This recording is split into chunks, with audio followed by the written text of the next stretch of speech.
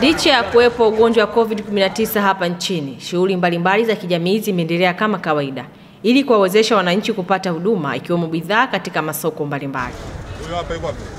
Kashakimbia. Tutachukua bidhaa. Baadhi ya wananchi nao wakionekana kuwepo katika masoko hayo pasi kuwa na kazi maalum, ambapo kamati ya usalama ya kitaifa Zanzibar inafanya ziara katika maeneo ya masoko na kubaini wananchi wengi kutofuata utaratibu ikiwemo vaji wa barakoa. Katika ziara yetu hii mapungufu tuliona ni mengi, lakini tumeazimia mapungufu haya sio tuya, tuyatangaze, tuende kwenye vyombo vinavyohusika, tuonane na mwenyekiti wa kamati ya ulinzi na mkoa ambaye ni RC wa mjini Magharibi pamoja na viongozi wengine ambao wataitwa pale kujadili yale mapungufu tuliyoyaona, hatua gani zimechukuliwa na nini kifanyike kurekebisha, kuhakikisha maagizo ya serikali yanatiliwa na kuepukana na janga hili la korona.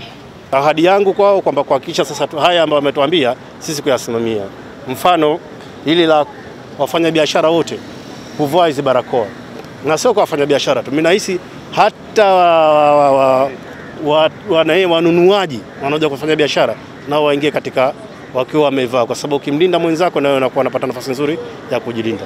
Swala zima la, la, la maradhi haya tunatakiwa sote tuzungumze lugha moja. Wananchi wasiokuwa na kazi maalumu, asiokuwa na mahitaji maalumu akae nyumbani, asidhurure.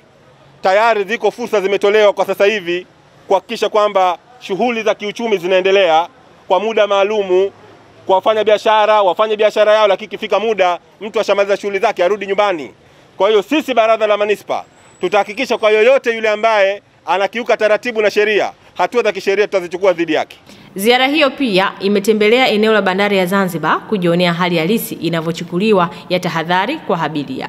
Kutoka Zanzibar, Mtumwa Saidi, Azam News.